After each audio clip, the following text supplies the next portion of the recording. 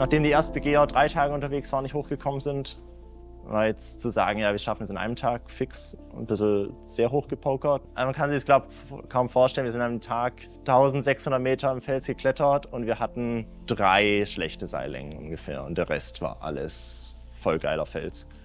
Servus Leute, herzlich willkommen auf Euraclimbs. David, Lea und Elias waren den Sommer in Indien im Zanskar-Tal unterwegs und haben dort einige Routen in besten Granit an spektakulären Bergen um die 6000 Meter wiederholt und auch einige neue Routen und sogar neue Gipfel erst begangen. In dem Video berichten David und Lea bei einem Vortrag in Kufstein über ihre Erlebnisse. Viel Spaß beim Video. Ich bin die Lea und ich bin dann irgendwann mal so angesprochen worden, so, hey, was tust denn du im Sommer? Ich so, war ja Studium fertig, weiß noch nicht ganz, was ich tue, würde gerne ein bisschen am Berg umhatschen. Und dann ist der Elias und die Hanna damals noch auf mich zukommen und haben gefragt, so, hey, boah, wir hätten da so eine Idee, was schon mal in der Höhe? Und ich so, naja, ein bisschen halt so Vierer gemacht, aber halt noch nicht wirklich hoch, hoch, oder? Und dann haben wir ein paar so Ziele zur Auswahl gehabt und dann haben wir uns halt irgendwann mal ein bisschen so auf Indien geeinigt und dann haben wir uns aber gedacht, so, mal zu dritt ist cool, aber also es kann immer irgendwas sein, holen wir uns noch den vierten ins Boot. Und dann irgendwann der Elias so, wartet einmal, er hat da noch wen. Und dann ist da irgendwann der David ins Spiel gekommen. Und dann haben wir angefangen, das Ganze zu viert planen. Und haben dann das Ganze eigentlich innerhalb von eineinhalb Monate von der Idee, dass ich angesprochen worden bin, bis Abflug innerhalb von eineinhalb Monate irgendwie so halb durchgeboxt auf die Reihe gestellt. Und dann ist uns leider echt zwei Wochen vorher die Hanna ausgeflogen. Die hat sich am Kirschbaum zwei Wirbel gebrochen. Ähm, also ja, das bin ich, dann das ist der David und der Elias. Da haben wir uns dann in Wien am Flughafen getroffen, sind alle angereist. Und was haben wir dabei gehabt vom Gewicht, vom Gepäck? Und durchgerät 240 Kilo sowas, davon das meiste für uns. Und wir hatten nochmal knappe, knappe 50 Kilo, die wir aus Südtirol mitgenommen haben, um dort der Bergwacht zu übergeben. Einfach Material, was die gebrauchen können. Delhi Flughafen kommt man aus dem Flugzeug raus. Die schwüle Luft, heiße Luft erschlägt ein und alles voller Lärm, Rumgehupe, viele Menschen. Und wir wussten, okay, wir müssen jetzt 13 Stunden in einen anderen Ort, sind an Taxistand, uns Angebot holen lassen. Ähm, und es war dann auch okay, hat gepasst. Währenddessen haben nochmal zehn andere Taxifahrer auf uns eingeredet, dass wir doch mit denen fahren sollen, dass es viel besser ist. Und genau von dort ging es dann äh, unsere, ich glaube, wir waren tatsächlich dann knappe 13 Stunden unterwegs nach ähm, Manali. Das waren gefühlt echt so meine NATO-Erfahrungen einfach. Also das Ganze drumherum danach war ganz okay, das Klettern, aber das war einfach sketchy as fuck. Und dann sind wir noch einmal über einen Chicanula-Pass der, der liegt der höchste Punkt so auf 5000, sind dann Richtung unserem Ausgangsdörfchen eigentlich gefahren. Und das war in dem Fall dann halt diese Straße. Ja. Also eine Strecke von knapp 200 Kilometern, wo wir ungefähr 10 Stunden unterwegs waren. Also ähm, Wahnsinn. Genau, und halt einfach alles eine absolute Dauerbaustelle. Und das ist, die bauen irgendwas auf und fünf Tage später kommt der Regen und reißt wieder alles runter. Ähm, genau, dann sind wir äh, eben nach zwei Tagen Reisen im Sanskertal angekommen. Das ist das Haupttal dort. Ein sehr ähm, bisschen entlegenes Tal, wenig Tourismus, bis fast keiner und äh, viel Landwirtschaft und sehr äh, einfach eine schöne Community dort im Tal, weil sich irgendwie alle kennen und, und total eng miteinander arbeitet. Genau, ganz spannend auch vielleicht, das ist so Ladakh, das ist die Region. Und das war ein ewig langer Königreich, ich glaube so bis 1940 oder sowas. Und also die war davor einmal schon ein bisschen in Indien unterwegs und du merkst in diesem Tal oder generell in diesem Bundesstaat irgendwie echt ein bisschen einen Unterschied zum Rest von Indien. Und es war total nett. Wir haben das Ganze, wir haben uns lange überlebt, auch schon im Vorfeld, machen wir das komplett als Alan, dass wir sagen, wir tragen als Alan auf, wir machen alles bla bla bla. Aber logistisch, auch mit dem Gepäck hat es auf Dauer und durchgerechnet einfach nicht ganz funktioniert. Es hat schon drei, vier Expeditionen davor in dem Tal gegeben, haben das auch mit so einer Mini-Agentur, sage ich jetzt einmal, gemacht. Und die haben wir dann auch sozusagen gefragt, so, hey, habt ihr Bock, da mit uns ein bisschen zusammenarbeiten? Und da hat uns ein ganz liebes Mädel dann in Empfang genommen, haben dann in ihrem Haus da wohnen dürfen. Wir haben ein paar Kooperationspartner gehabt, kommen wir dann noch dazu. Und wir haben ein bisschen geschaut, dass wir einfach ein Zeug auftreiben, ähm, für die Kids oder auch für die Bevölkerung vor Ort. Und was, ja genau, total süß, was voll lieb war, mit dem wir nie gerechnet haben, so, so, so ein Sticker oder von am Buff war das, glaube ich, das war so lieb. Ähm, so einfach so ein Etikett, so ein Preisschild, oder? Was halt klebt, haben die sich einfach instant auf irgendeine Löcher in die Daunenjacken geklebt. Also so Sachen, mit denen ich mir gedacht habe, so hey, wenn du wieder mal was mitnimmst, nimm sowas mit, so Reparaturflickzeug für Daunenjacken oder für Gore-Tex-Zeug, weil das dann scheint da oben halt voll keiner richtig gehabt hat.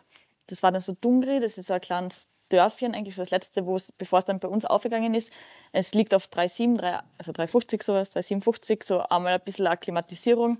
Da haben wir uns davor ein bisschen so Gedanken gemacht, wie wir das Ganze angehen und waren dann einmal so drei, vier Tage in dem Dorf. Ah, total cool. Wir haben dann so eine offizielle Übergabe gehabt, wo wir das ganze Material von den Südtiroler übergeben haben und sind dann da eingeladen worden, eben das zu übergeben. Dann haben sie uns den Apothekenschrank gezeigt oder halt, das ist so im Dorf das Hospital gewesen. Und da total nett. Also wir haben echt, wir haben, ich glaube, 20 Paar Schuhe mitgehabt, Steigeisen, Pickel, ähm, Daunenjacken und am meisten happy waren sie eigentlich mit den Eisgeräten. So, das haben sie uns dann erzählt. Absolut begeisterte Eiskletterer sind.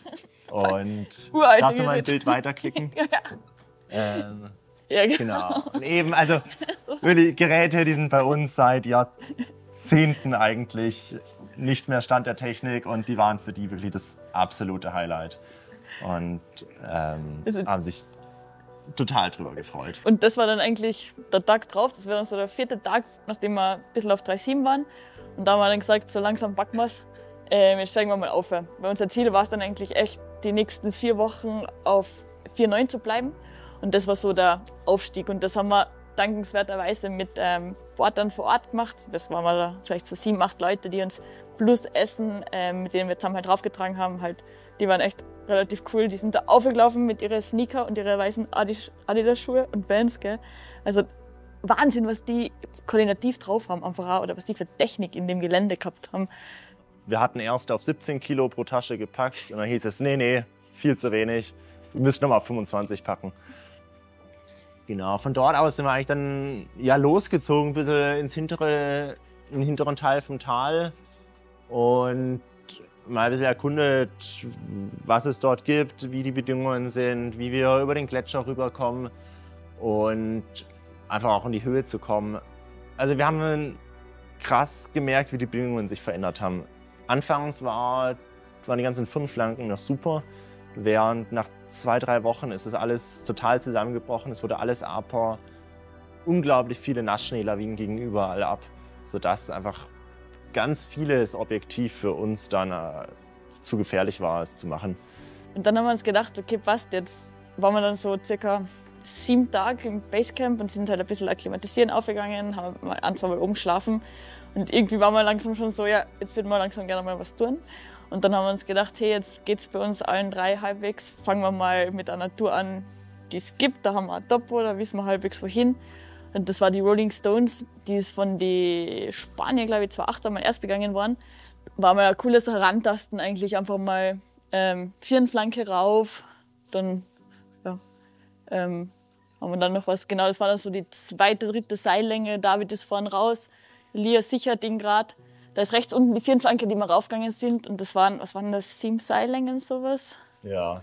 Genau. Und halt echt, was wir die nächsten Wochen auch haben oder die ganze Zeit hatten, war einfach unglaublich guter Fels. Also das ist einfach richtig Bock macht zu klettern. Äh, fest, rau und sauber. Und irgendwie mehr kann man sich da nicht wünschen und eigentlich immer ab, gut abzusichern. Genau. Und ja, das, was wir auch noch die ganze Zeit haben würden, äh, ein bisschen eingeleitet wurden da in der Tour, war äh, einfach on-site, einfach mal drauf los abzuseilen. äh, bei dem, da hieß es sogar, es gibt Abseiler, haben wir keinen einzigen gefunden. Genau, von da ging es dann nochmal weiter, die Fünfflanke runter. Konsequent hatten wir auch nie einen Abalakow-Fädler dabei. Dann haben wir da auch ganz schnell gelernt, wie es gut mit dem Klemmkeil geht und das hatten wir bis zum Ende echt verdammt gut raus. Generell war eigentlich so, wir haben oft so einen Tag geplant, das war so Ruhetag, dann einen Tag gebackt, hergerichtet, was weiß ich, kommen wir noch später zum Basecamp leben und dann durchgemacht, oder? Und dann haben wir jetzt zum Beispiel eben diese Rolling Stones Tour gemacht. Dann haben wir wieder einen Tag im Basecamp gechillt, oder zwei, glaube ich sogar. Dann halt gepackt und dann ist der Elias und ich haben uns gedacht, boah ja, die Conditions passen noch ganz gut. Wir starten noch einmal ähm, jetzt nicht so voll Klettertour, sondern ein bisschen mehr so was Bergsteigerisches, würde ich jetzt sagen. Und sind dann, ich kann es kurz erläutern, es gibt, also das ist der Rimalaye, heißt der. Das ist der rechts oben der höchste, den man da sieht. Und da gibt es einen Normalweg rauf und wir sind dann da durch so Rinnen. Das war dann so die Tour, das sind wir gestartet. Das war auch ganz spannend, weil es war so davor neun Tage blauer Himmel, mega geil. Und es war der erste Tag, wo dann neblig war. Und dann haben wir uns aber gedacht, okay, eigentlich ganz cool, weil einfach vom Schnee her, es waren Conditions ein bisschen, boah, Premium, danke, waren ein bisschen besser. Und das war dann echt einmal so, ich glaube, das was wären es gewesen sein, 500 Höhenmeter vielleicht in dem Terrain raufgepickelt und uns weiter Durst. Ähm, so schön sauer raufgestiegen, haben wir uns irgendwie durchgefunkelt ähm, und sind dann oben auf das große Schneefeld gekommen. Haben uns dann gedacht, auf der linken Seite ist jetzt der Gipfel. Ähm, haben gedacht, so ja, easy cheesy, wenn wir noch drei Seillängen dann raufgehen. Und die war es nicht. Wir haben immer gedacht, drei Seillängen. Und im Endeffekt waren es dann neun. Und man kann sich echt verschätzen, was Seillängen angeht, aber zwischen drei und neun ist halt echt echter Unterschied, gell? Und dann haben wir da oben halt einmal kurz gechillt, sind dann wieder runter, rüber traversiert und dann links da oben, wir haben alles mitgehabt fürs Bivakieren. Und das haben wir dann auch gemacht, da haben wir da dann geschlafen. Das war dann so die erste Nacht auf 6000. Und wir haben halt gedacht, ja, okay, schauen wir mal, wie es funktioniert. Und es hat ganz gut gepasst. Das Einzige war halt, aber es ist Klassiker, glaube ich, auf so einer Höhe, bist halt voll ein bisschen durstig und ein bisschen hungrig. Und weil wir halt relativ lightweight unterwegs waren. Und dann sitzt der Elias am nächsten Tag, das war der Peak 6060 und anscheinend, keine Ahnung, war der noch nicht bestiegen und dann sind wir da halt auf, sind wir dann noch so rüber traversiert und dann haben wir uns halt irgendwo so einen Weg abgesucht und dann war ganz lieb, weil der Elias so, äh, wir haben halt so volle lang wo abwickeln müssen und dann komme ich so unten an und dann schaut er mich so an, so, gratuliere Lea, jetzt bist du die Meilrampe zweimal abgepickelt. Und dann habe ich halt voll grinsen müssen, weil es war halt echt einfach so ewig, ewig, ewige Abwickelei. Und sind dann raus und das hat aber alles ganz cool gepasst. Genau, von dort ging es weiter an Charisri, also neben dem Remalaye so eins unserer Hauptziele, wo eben der Berg äh, noch unbestiegen war. Es gab eine bestehende Route, die nämlich hier über diese Firnflanken aufsteigt und dann über den Ostgrat hoch bis auf den Grat und dann den Grat hinter. Und das hinter ist dann der Hauptgipfel. Und genau, das war eine italienische, italienische Seilschaft, die waren da drei Tage unterwegs und kamen dann schlecht Wetter, mussten abseilen. Das ist das Ende von dem vorderen Grat und hier ist dann der Hauptgipfel. Also was von vorne nicht weit ausschaut, ist dann doch noch ganz schön weit. Und der Grat schaut davon hier nicht schwer aus, aber es war anhaltend Vierergelände. Und es gab an der Stelle einmal 15 Meter Gehgelände, sonst musste man konstant klettern. Und wir sind ja alles eigentlich als Seillängen geklettert, weil es äh, am Laufenden auch nicht so richtig ging. Unser Ziel war eigentlich anfangs nicht über die bestehende Route hoch, sondern durch die äh, Nordostwand aufzusteigen. Da gibt es so einen Riss, der sich die ganze Wand hochzieht. Schaut ultra geil aus und sieht schon aus dem Basecamp. Ähm, und da haben wir einen ersten Versuch gestartet. Genau. Und da sind wir eben hier eingestiegen, voll motiviert. Ja, nach 35 Metern haben wir erkannt, das wird heute nichts mehr. Ich glaube, so eine A3-Länge erst begangen, war zwei Stunden in der Länge. Ähm, äh, ja, und dann wussten wir, okay, den Tag scouten wir ein bisschen sind wieder abgeseilt und über dieses Kaminsystem bis auf so ein Band hier hoch und auf die Spitze, weil wir eben, man sieht es hier ein bisschen auf dem Bild, hier zieht ein Riss von hier bis nach oben durch. Ähm, genau, und dem wollten wir folgen, haben da eigentlich erkannt, okay, ist zu schwer. Also in dem Stil, wie wir unterwegs sein wollten, geht das einfach nicht. Und deswegen sind wir nochmal abgestiegen ins Basecamp, haben ein bisschen begonnen umzuplanen. Genau, Tag drauf haben wir nochmal neu gepackt und sind nachmittags wieder losgelaufen und wollten unterhalb von der Wand schlafen. Ähm, und sind dann, ich weiß nicht, morgens um drei oder so in die Firnenrampen da reingestartet und waren erstmal auch wieder überrascht, wie lang sich alles zieht. Was wir dachten, was vier Seillängen sind, waren doch plötzlich irgendwie wieder sieben Seillängen, davon haufenweise anhaltend 70 Grad Blankeis. Und wir hatten ein Quark, zwei Gullis und vier Eisschrauben dabei. also irgendwie dann doch ganz schön anstrengend zu klettern. Und von dort ging es dann weiter in den Fels, der auch, man kann sich das glaube kaum vorstellen, wir sind an einem Tag 1600 Meter im Fels geklettert und wir hatten drei schlechte Seillängen ungefähr und der Rest war alles voll geiler Fels.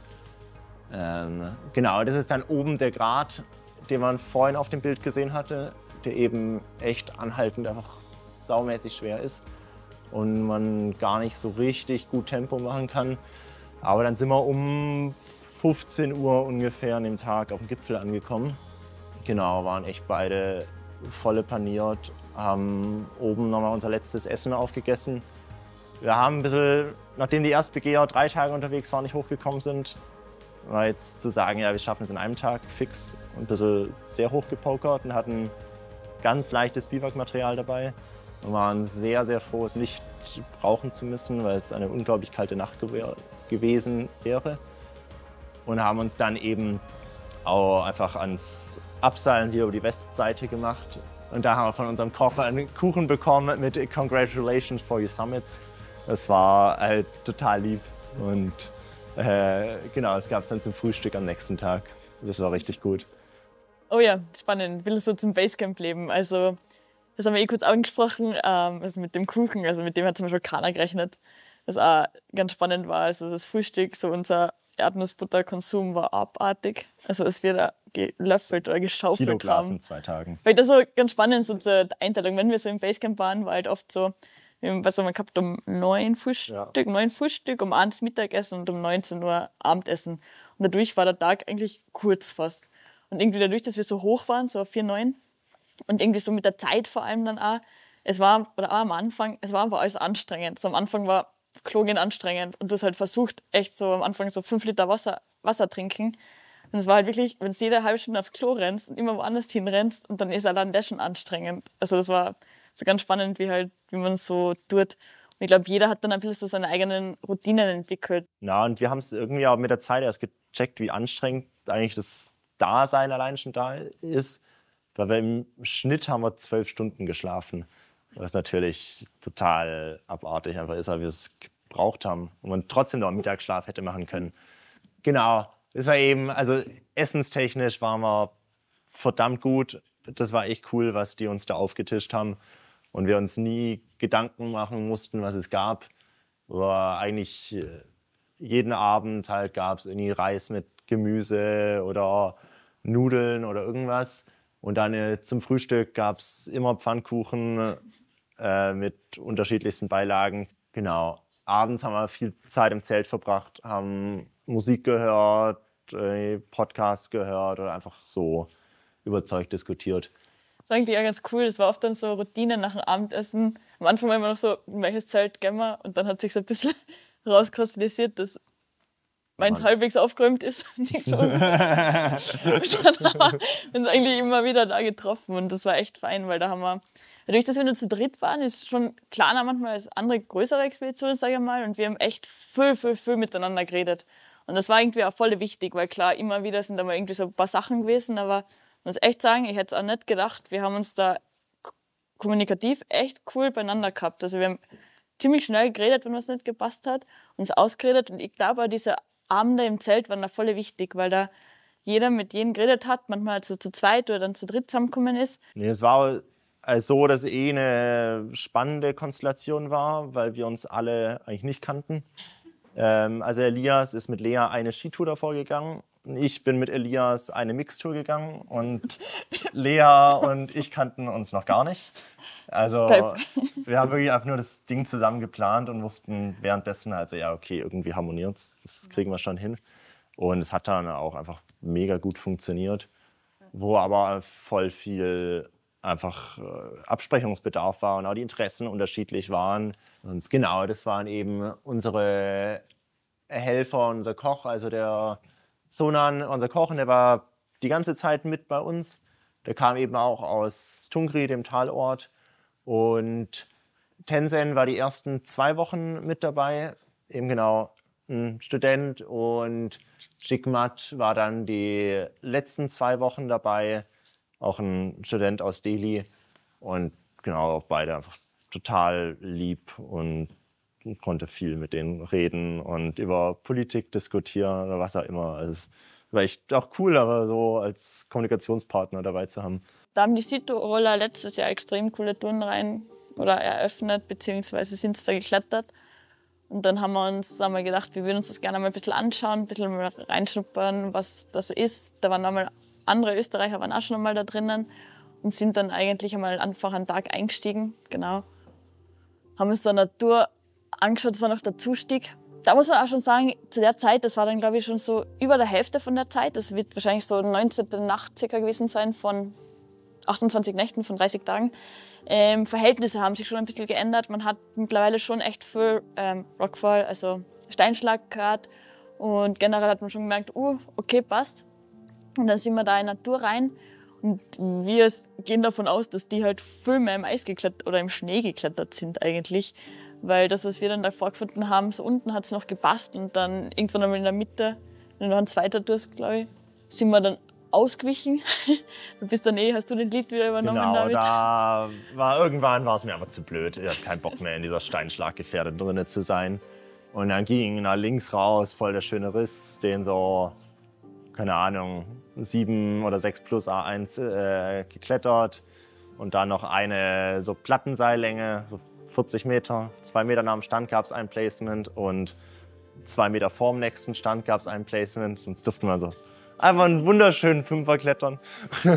ähm, und dann und links ums Eck rum, meine ich zum Elias, das sei voll selbstsicher, ja, da gehen wir jetzt weiter, da kommen wir schnell hoch. Und er so, ja, hast mal ums Eck geschaut? Nee. Genau, und dann äh, war halt plötzlich dieser Kamin da. Ähm, und irgendwie, okay, außenrum ging gar nichts. Deswegen mittendurch, ich bin mal losgeklettert. Ein paar Meter haben meine Bergstiefel hängen gelassen. Ein paar Meter weiter ein Helm und ich hing dann so drin, hochgerobbt. Und dann war halt Elias als erster Nachsteiger der Depp, der dann alles einsammeln durfte und sich zwischen die Beine hängen musste und ist dann mit zwei Paar Bergstiefeln im Rucksack, zwei Helmen da dann äh, hinterhergeschrubbt. Also echt, das war die Tour, es war nichts Großes, aber es war einfach ein richtig schöner Tag. Und unser eigentliches Hauptziel da war auch nicht die Tour zu klettern, sondern zu schauen, ob wir im oberen Wandbereich, wo eben durch die Hauptwand bisher noch niemand gegangen ist, eine Linie finden und wir aus der Ferne nicht zurecht gesehen haben und dann aus der Nähe einfach nochmal genauer anschauen wollten. Und da saßen wir dann oben auf so einem Pfeilerkopf und haben ein bisschen gesehen, okay, aus der Nähe sehen wir auch gar nichts. Genau, und da geht es dann eigentlich auch schon so ein bisschen Richtung Ende von unserem ganzen Ding. Also wir haben dann gesagt, okay, jetzt haben wir noch so, wollen wir noch so zwei größere Sachen machen eigentlich, haben dann wieder ein, zwei Tage im Basecamp gechillt, eingeräumt, ausgeräumt, getrocknet, sortiert, umsortiert, was auch immer. Und haben uns dann nochmal gedacht, okay, der Taktori, der ist so von, wenn sich jetzt ein bisschen so von der Einordnung her, der ist so, am, da ist der Gletscher, der macht noch so Kurven nach rechts. Da sind wir damals von dieser Spark Traverse runtergekommen. Und das ist der, der eigentlich noch so in der Mitte steht. Links sind jetzt so die Schiebberge. Und da gibt es eine Kante, wenn du mal kurz aufzeigst. Genau, also die Linie, also die Treasure of Sanska heißt die Route. Und die startet eben hier unten, zieht durch diese Schneerampe hoch, geht dann hier einen Fels über und dann klettert man immer mehr oder weniger auf diesem Rücken, mal ein bisschen rechts, mal ein bisschen links und kommt dann oben am Hauptgipfel raus und seilt dann wieder über die Südwand ähm, hier ab. Genau, und da war halt ein bisschen bei uns aber der Gedanke, ja, okay, die Schneebedingungen sind echt zu dem Zeitpunkt richtig schlecht gewesen, was wir noch machen können. Und auch wollten wir als Dreierseilschaft nochmal unterwegs sein, sodass wir uns dann einfach für die Tour entschieden haben. Auch wieder Erstbegeher waren drei Tage unterwegs. Wir haben wieder drauf gepokert, dass es in einem Tag geht, wenn man leicht macht. Sind am, äh, ich kann gerade weiterklicken, genau, sind im echt mäßig guten Wetter ähm, aufgestiegen. Und da muss man sagen, ja, der Wetterbericht dort war komplett für die Katz. Wir sind halt immer einfach losgegangen. Mal war es gut, mal war es schlecht. Und dort sind wir wieder aufgestiegen und haben dann oben unterhalb von der Wand ähm, gezeltet. Ähm, genau, und sind dann auch wieder um, ich glaube, um zwei in der Früh war dann der Wecker. Und sind dann um halb drei oder so losgelaufen. Erstmal auf dem Gletscher im Dunkeln. Ich war vorne und irgendwann ging es einen Gletscher runter. Das war ein bisschen irritierend, weil wir eigentlich hoch mussten. Ähm, und sind dann in die Tour eingestiegen. Wie auch ähm, in den anderen Touren bisher einfach voll geiler Fels, richtig viel Fünfergelände. Für uns auch die ersten paar bisschen schwereren Klettermeter mit 2,7 Minuslängen. Ist jetzt an sich nicht so schwer, aber wir waren dort auch knapp über 6000 und das hat dann doch irgendwie gescheit geschlaucht. Und die Osteuropäer sind jetzt nicht bekannt dafür, besonders leicht zu bewerten, was sich dort mal wieder gezeigt hat. Äh, von Slowenien war das, Genau, slowenische Seilschaft war das. Ähm, und dort sind wir dann ähm, eben auch wieder um 15 Uhr oder sowas am Gipfel angekommen und haben da dann gesehen, ja, okay, es zieht gerade komplett zu und ähm, aus dem Westen kommt ziemliches Schlechtwetter ran, sodass wir uns dort schnell ans Abseilen gemacht haben. Und dann hatten wir tatsächlich eine ziemlich wilde Abseilerei, weil wir die Abseiler zuerst auch gefunden haben, das hat alles gepasst, aber dann voll das Gewitter reingezogen ist und wir echt einen Hagel kamen, den so keiner von uns bisher erlebt hat, wo innerhalb von ein paar Minuten einfach jedes Band wirklich 30 Zentimeter Hagel überall lagen und es super unangenehm war an der Wand und auch im Gletscher ein paar hundert Meter neben uns die Blitze eingeschlagen sind, ähm, was wirklich dann unangenehm war und wir halt auch wieder brutal leicht unterwegs waren. Die Bergstiefel haben wir unten am Wandfuß stehen gelassen, waren nur in Kletterschuhen unterwegs und wir hatten auch, ich weiß nicht, einen Liter Wasser pro Person und ein bisschen Essen. Ah, ein Müsli-Riegel. Ein Müsli-Riegel so. Ähm, sodass wir dann auch vollkommen verfroren unten ankamen. Und genau, irgendwann zieht Lea einen Handschuh aus und meint, ja, shit, meine Finger sind schwarz. Ich glaube, die frieren gerade ab. Und dann hat sie aber später rausgestellt, ja, es ist nur der Handschuh, der abfärbt. Also so dramatisch war es dann zum Glück nicht. War dann ein bisschen die Anstrengung und Müdigkeit, die ein bisschen das dramatisiert hat. Und halt, dass wirklich alles gnadenlos abgesoffen ist. Genau, von dort sind wir auch wieder Zelt abgebaut ganz schnell und runter ins Basecamp, wo wir um, was wirklich genial war. Wir kamen um Mitternacht im Basecamp an und der Koch hatte schon unsere Stirnlampen gesehen, wie wir herlaufen und als wir ankamen, stand ein fertiges Abendessen da. Was einfach total genial war da für uns, dass wir noch schnell was reinfuttern konnten. Und im Endeffekt ist es dann ausgegangen, muss man dazu sagen, oder? Also wir haben man klar gebuckert, aber in 20 Stunden sowas waren wir dann durch und Genau. Und dann waren wir schon bei unserer letzten Tour von unserem Trip, äh, wo wir eben nochmal an Charisri gehen wollten. Unsere Linie, die wir mal begonnen haben, weitermachen. Das wir hatten da, glaube ich, noch fünf Tage bis Abreise. Und Lea war am Chaktori einfach durch. Die hat gesagt, ich habe keinen Bock mehr. Ähm, und Elias und ich, das heißt, Elias war vor allem noch richtig scharf, ich war so mäßig scharf. Und wir dachten uns, okay, machen wir jetzt richtig gemütlich, haben das Portaledge eingepackt, die ganz dicken Schlafsäcke und einen Tag nur vier Seillängen geklettert, zwei Seillängen über die Platten direkt geheult, das Portaledge aufgebaut.